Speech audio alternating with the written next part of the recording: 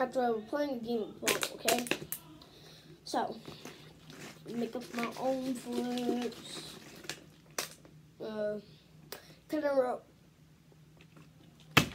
one, two, three, four, five, six, seven, eight, nine, ten. Alright, so we didn't get a B. Okay. Oh, okay.